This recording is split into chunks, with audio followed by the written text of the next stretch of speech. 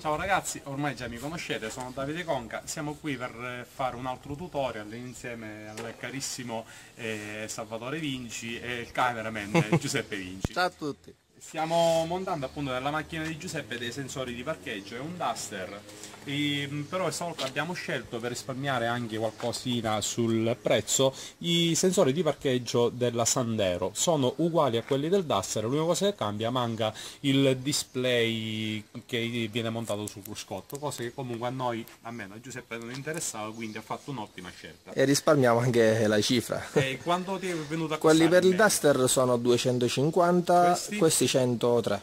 Quindi 150 Per un display. Per un display. display. Per me totalmente inutile e brutto. E allora, come stiamo procedendo? Abbiamo preso della carta adesiva da 5 cm e partendo dal bordo bianco, cioè dove c'è il distacco fra il nero e il bianco, l'abbiamo steso per tutta la superficie del paraurti. E a questo punto abbiamo segnato il centro, e il centro l'abbiamo segnato prendendo dalla chiusura a scoppo del cofono con un filo e un peso, la cosiddetta lenza, abbiamo abbassato e abbiamo segnato il centro del paraurti. Arrivato a questo punto abbiamo usato logicamente le le misure delle istruzioni di montaggio per il DAS, abbiamo segnato il primo a 23 cm dal centro, questo a 23 cm dal centro, quest'altro è a 42 cm da questo e questa, da quest'altro lato la stessa cosa. Sì, hai finito devi spostare la Sì. Come centrali invece abbiamo segnato 2 cm e 2 per tutte e quattro. Sì. Anche perché nel- nelle istruzioni dice eh, che questo deve essere 2 2 e quello deve essere Un e sei. 1 e 6. Noi abbiamo preferito lasciare tutti alla stessa misura. Ok. Continuiamo, passiamo ora alla foratura. Perfetto, sì, sì, ci vuole.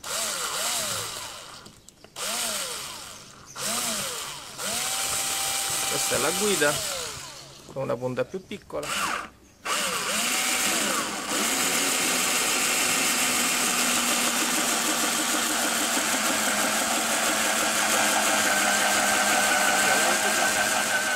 Ok, questi sono i buchi finali fatti.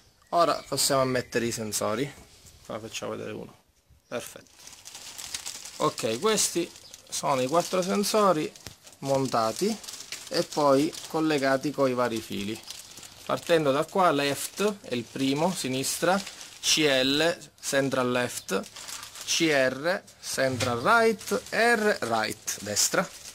Ok. E allora ragazzi siamo sotto la macchina. Abbiamo fatto i buchi, di qua sono usciti i fili, abbiamo collegato questo qua il sensore e questo qua il filo, il filo di prolunga. In dotazione danno del con biadesivo dei portafascetta che noi andremo ad applicare qui in questa maniera. E poi andiamo a fermare i fili. Quindi poggiamo il filo chiudiamo la fascetta magari poi le fascette le stringiamo tutte quante all'ultimo. Ok. Questa operazione si deve fare logicamente per tutti e quattro i sensori.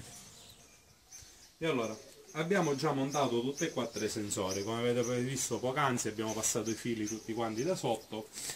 Mm, qui sotto i paraurti poi guardando da sotto appunto noterete che c'è un tappo in gomma anche se è sporco di antirombo e sarebbe questo tappo qui vedete se riesce a vedere. Perfetto. L'abbiamo bucato con un taglierino con un tagliabassa abbiamo passato i fili. Allontanati. Ah, allontanati con il coso no ecco.